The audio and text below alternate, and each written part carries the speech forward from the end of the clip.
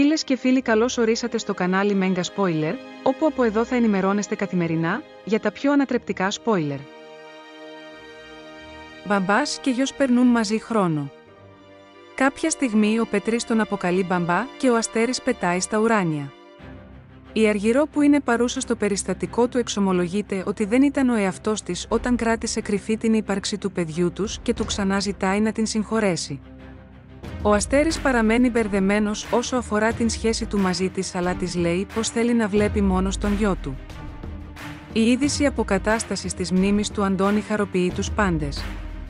Την ίδια στιγμή ο ευθύνη καταραίει όλο και περισσότερο ενώ οι προσπάθειες της Στέλλας να τον κάνει να τι ανοιχτεί αποδεικνύονται μάταιες.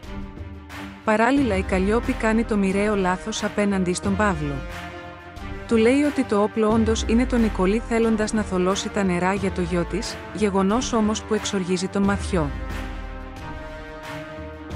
Εάν μας βλέπετε για πρώτη φορά, έχετε την δυνατότητα να κάνετε μια δωρεάν εγγραφή, να ενεργοποιήσετε και το καμπανάκι, για να λαμβάνετε ειδοποιήσεις για τα νέα βίντεό μας. Σύντομα κοντά σας.